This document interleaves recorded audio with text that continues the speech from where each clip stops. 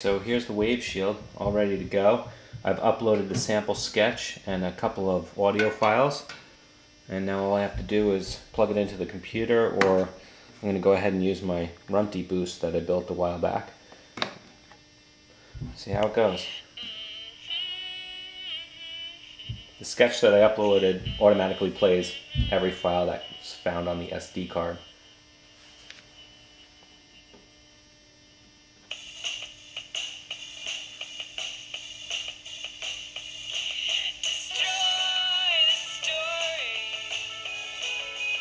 Sounds good, works good. It's really easy to program.